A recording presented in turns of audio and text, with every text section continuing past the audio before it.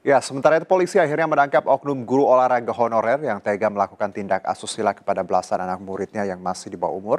Tidak hanya 16 siswanya, beberapa anak di bawah umur di lingkungan tempat tinggal tersangka juga menjadi korban pelecehan seksual.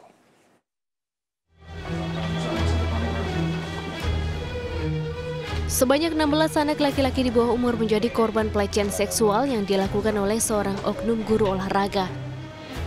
Dalam melakukan aksinya, tersangka berpura-pura meminta bantuan kepada korban untuk memeriksa nilai pelajaran olahraga dan berjanji akan memberikan uang apabila diajak menginap di rumahnya.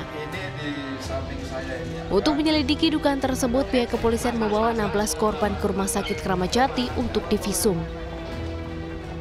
Untuk itu para korban, hari ini akan kami lakukan visum di Rumah Sakit Kramajati, Rumah Sakit Polri Kramajati untuk memastikan apakah tersangka ini hanya melakukan cabul saja atau tersangka melakukan pelecehan seksual yang lain, apakah disodomi dan seterusnya. Untuk mempertanggungjawabkan perbuatannya, kini tersangka ditahan dan terancam Undang-Undang Perlindungan Anak. Dari Jakarta, Rio Manik, iNews melaporkan.